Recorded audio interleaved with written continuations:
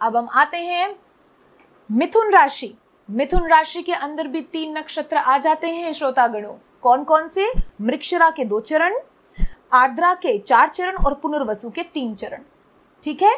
तो जब हम बात करते हैं मिथुन राशि की तो मैंने आपको बताया था कि मिथुन राशि के जो अधिपति हैं, वो बुद्ध जी हैं। तो ये लोग बहुत बुद्धिजीवी होते हैं, ये लोग बात करने में बड़े वाक चातुर्य इनके अंदर बहुत होता है, बड़े अच्छी तरीके से बात करते हैं प्रेजेंटेबल होते हैं, समझदार होते हैं, जिनसे इनकी लॉ लगी होती है, हमेशा उनके हित साधन में तत्पर रहते हैं। डिप्लोमेटिक आंसर्स देने में बड़े चतुर होते हैं। तो ऐसे लोग आईएएस ऑफिसर बनने की भी तैयारी कर सकते हैं। तो वैसे ही मैं आपको बता रही हूँ, ये तो हुई मज़ाक की बात। मिथुन राशि में अगर आपका मृक्षरा नक्षत्र, देखिए दो चरण तो हमारे वृषभ राशि में चले गए मृक्षरा के, बाकी बचे दो। तो वो बाकी के जो दो चरण बचे हैं, वो हमारे मिथुन राशि मृक्षरा में आ जाते हैं कॉन्टिन्यूएशन में चल रहा है। मिथुन राशि में मृक्षरा नक्षत्र का तीसरा चौथा चरण आता है। फिर से मृक्षरा नक्षत्र आया तो मृक्षरा नक्षत्र के अधिपति हो गए मंगल। तो यहाँ हुए बुध हमारे मिथुन राशि के अधिपति और यहाँ आ गए मंगल, मृक्षरा के अधिपति। तो फिर वही बात हुई। इनका तीसरा और चौथा चरण, यानी कि इनका तो वृषभ राशि में जो प्रथम और द्वितीय चरण की ऊर्जा थी, उससे भी ज़्यादा ऊर्जा आ गई। हाई लेवल ऊर्जा, बिल्कुल। मतलब आप समझ लीजिए, सूर्य का गोला हुआ, इस तरीके का एक एनर्जी सोर्स ऐसा प्रचंड मंगल का ऊर्जा इनके अंदर आई हुई है। तो जो मिथुन राशि में अगर मृक्षरा के होंगे तो वो तो और भी अत्यधिक हाई ऊर्जा वाले, इतना कि पता ले उनसे संचालित हो भी पाएगी इतनी ऊर्जा की नहीं। तो ऐसे लोगों को तो खास करके मैं कहना चाहती हूँ जिमिंग ज़रूर किया करिए।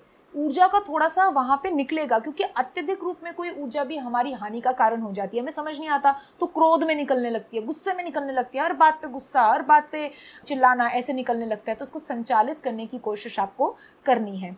दूसरी बात, हम ये देखते हैं कि मंगल आ गए हैं तो जो स्वास्थ्य है वो पित्त से खराब होगा। गर्मी से, जैसा मैंने समझाया, वृषभ राशि वालों को भी, जिनका मृक्षरा नक्षत्र था, कि गर्म चीज़ें आपको नहीं खानी होंगी। जिनका भी मिथुन राशि में मृक्षरा तृतीय, चौथा चरण है उनको गर्म चीज़ों से परहेज करना है। अत्यधिक चटकीला, अत्यधिक खट्टा, अत्यधिक चाट मसाला और ये चटपटा खाना, गर्मी देने वाला खाना, बहुत ज़्यादा आम तो ये सब आपको जो है पित्त से परेशानी आपका स्वास्थ्य जो है वो डामाडोल हो सकता है और आपको कठिनाइयों का सामना करना पड़ सकता है। इसलिए अपने स्वास्थ्य को सही रखिए और रूम टेम्परेचर की चीज़ें, ठंडी चीज़ों का सेवन कीजिए। रात के समय तो खास करके कुछ गर्म मत खाइए, ठीक है?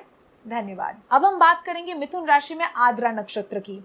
मिथुन राशि में आद्रा नक्षत्र जो आ रहा है, उसके चार चरण है। प्रथम, द्वितीय, तृतीय और चौथा चरण। मैंने आपको बोला कि हर एक चरण की जो विशेषता है, इसकी हम बाद में कभी बात करेंगे। अभी तो मैं ऊपर ऊपर की बातें आपको बता रही हूँ और इसी से आप समझ जाएँगे कि कितनी विभिन्नताएँ स्वभाव में आ जाती हैं और किस प्रकार आती हैं। तो ज्योतिष का ये चमत्कार आप अपने आप समझिए और इसके लिए ऋषियों को प्रणाम ज़रूर कीजिएगा, जिन्होंने ये खजाना हम लोगों के लिए छोड़ा है। तो मिथुन राशि में जिसका आर्द्रा नक्षत्र है, आर्द्रा नक्षत्र के अधिपति हो गए राहु। तो ये व्यक्ति जो होगा बुद्ध के तो सारे गुण आ ही जाएँगे, क्योंकि मिथुन राशि के अधिपति बुद्ध हैं, लेकिन राहु के भी गुण आएँगे अगर आर्द्रा नक्षत्र है। यानी कि सीबीआई इंस्पेक्टरों जैसी एक क्वालिटी होगी। इंट्यूटिव पावर्स कौन क्या कर रहा है? अच्छा ये वो कर रहा है। एकदम गट फीलिंग बता देगी, ये कर रहा है। सिक्स सेंस बड़ी उजागर होगी और साथ ही कैमरा को फेस करने में बड़ा मज़ा आएगा। मीडिया बड़ा अच्छा लगेगा। मीडिया लाइन किसी भी तरीके से मीडिया से जुड़ना। शूटिंग्स करना या फिर गाना गाना कैमरे पे आना। मतलब इस तरीके की भी रुचि हम देखते हैं। फोटोग्राफी में इंटरेस्ट कुछ इस तरीके की चीज़ें इनके जीवन में हम ज़्यादा देखेंगे। इनकी पर्सनालिटी में हम ज़्यादा देखेंगे। साथ ही मैं बताना चाहती हूँ स्वास्थ्य के पॉइंट ऑफ़ व्यू से। जब आर्द्रा नक्षत्र हो जाता है तो वात के आक्रमण ज़्यादा होते हैं, यानी कि वायु का आक्रमण। और जैसे कि मैंने बोला, जब भी वायु का आक्रमण से स्वास्थ्य बिगड़ने की संभावना ज़्यादा हो, जो आर्द्रा नक्षत्र में देखी जाती है तो हम यही कहेंगे कि आपने प्राणायाम और योगा नहीं छोड़ना। ये आपकी वायु को, जो आपके शरीर के भीतर भी वायु होती हैं प्राणपान, व्यानुदान समान, और जो बाहर होती है, इन सभी वायुओं को संचालित करता है, इनको अच्छी तरीके से बैलेंस करता है। तो प्राणायाम, योगा करना है, ताकि आपका स्वास्थ्य ठीक रहे। नहीं तो वायु के अतिक्रमण से कहीं आपके श्वास में, श्वास लेने में दिक्कत हो, श्वासों की नलियों में आक्रमण हो जाए तो बहुत ही परेशानी हो सकती है। ठीक है? तो ये आपके स्वास्थ्य के लिए आपको एक अनमोल सजेशन दिया गया, जिसका आप प्लीज़ आप इसको फॉलो कीजिएगा। अब हम आगे हैं पुनर्वसु नक्षत्र पे। मिथुन राशि में जिनका पुनर्वसु नक्षत्र है, उनके पुनर्वसु नक्षत्र के तीन चरण आते हैं, प्रथम, द्वितीय और तीसरा चरण।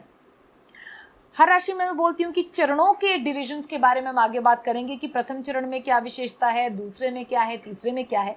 फ़िलहाल हम ये बता रहे हैं कि मिथुन राशि जिनके अधिपति बुध हैं, उसके अंदर अगर पुनर्वसु नक्षत्र में अगर आपका जन्म हुआ है तो पुनर्वसु नक्षत्र के जो अधिपति हैं, वो है देवगुरु बृहस्पति जी। देवगुरु बृहस्पति जो हैं, वो आपके इस नक्षत्र के अधिपति हैं। तो यहाँ तो आए बुद्ध जी और यहाँ आ गए गुरु जी। बुद्ध जी कैसे आए? क्योंकि वो मिथुन राशि के अधिपति हैं। और नक्षत्र कौन सा है? पुनर्वसु तो उनके अधिपति कौन हो गए? गुरु जी। तो बुद्ध और गुरु दोनों के गुण आएँगे। यानी कि बुद्ध का वाक चातुर्य, हृदय से युवा रहना, अच्छे से काउंसलिंग देना, समझदारी से हर कार्य करना। और दूसरा आगे गुरु यानी कि ज्ञानवान भी होंगे। इनको स्पिरिचुअलिटी में इंटरेस्ट होगा, इनको अपने रिलीजन की बातों में इंटरेस्ट होगा, इनको ज्ञान अर्जित करने की भूख अलग से लगी रहेगी कि मुझे ज्ञान अर्जित करना है।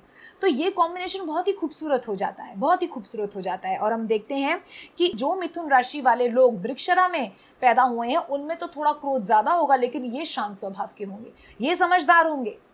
और जो मिथुन राशि के लोग आद्रा नक्षत्र में पैदा हुए वो भी थोड़े से क्रोधी हो सकते हैं, लेकिन पुनर्वसु यदि नक्षत्र आ गया तो वही मिथुन राशि के जो जातक होंगे, वो थोड़े से शांत, समझदार आपको नज़र आएँगे। ज्ञान उद्देश्य बढ़ा देंगे आपको। ये नहीं करना चाहिए, ये करना चाहिए। लेकिन आपके हित के लिए, आपके हित के लिए। साथ ही हम देखते हैं स्वास्थ्य को लेकर इनको किस ओर से परेशानी आ सकती है तो वो है वात, ठीक है? इन लोगों को वात का आक्रमण ज़्यादा हो सकता है, यानी कि वायु के अतिक्रमण से श्वास की नलियों में परेशानी आ जाना तो आप प्लीज़ प्राणायाम कीजिए, आप प्लीज़ योगा कीजिए, ताकि अंदर की जो आपकी वायु है प्राण अपान व्यान उदान, समान, है ना? और बाहर जो आप श्वास ले रहे हैं, वो अनुलोम विलोम की क्रिया है, वो एक अच्छे बैलेंस में बने रहे। क्योंकि ये वायु अगर बैलेंस तरीके से अपनी अपनी जगह नहीं, शरीर के अंदर और बाहर काम करेंगी तो आपका डाइजेशन सीधे सीधे इफ़ेक्ट होगा, आपकी श्वास की नलियाँ सीधे सीधे इफ़ेक्ट हो जाएँगी और बहुत प्रॉब्लम्स आ जाएँगे। इसलिए आपको विशेष करके प्राणायाम और योगा से प्रेम करना है। यदि आप चाहते हैं कि आपके जीवन में हेल्थ हमेशा अच्छी बनी रहे। Thank you